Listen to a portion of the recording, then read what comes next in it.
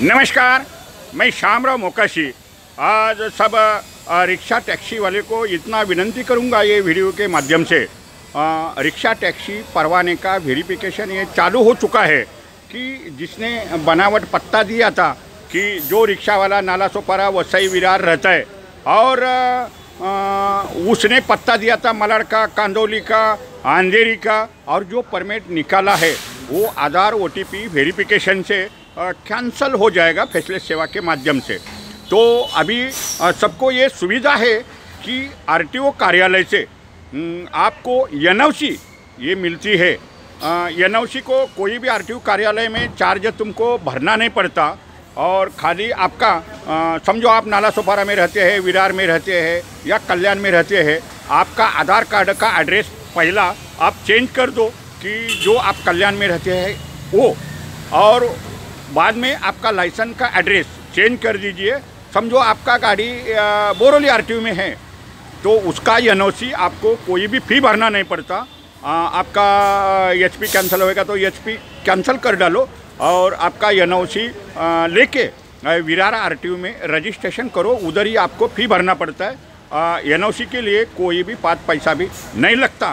तो नहीं तो आपका परमिट एक कैंसिल हो जाएगा। ऐसा कम से कम चालीस हज़ार परमिट बम्बई में निकला है कि जो बम्बई में रहता ही नहीं।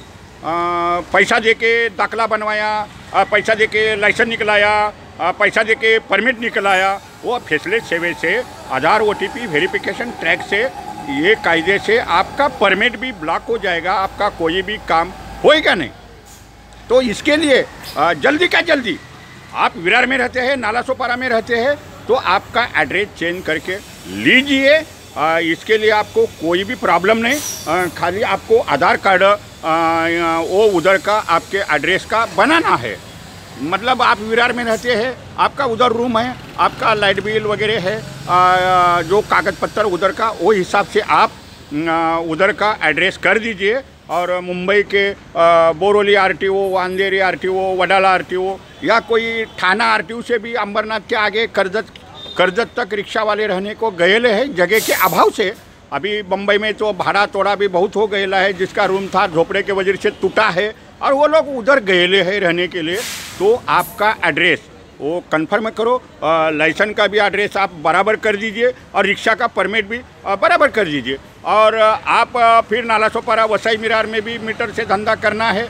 एक हज़ार तेईस गाँव का भाड़ा भी वही है और मीटर से किधर भी धंधा करने का है। और आपको उधर भी ये करेगा तो विरार आर से एक परमिशन पत्र मिलता है।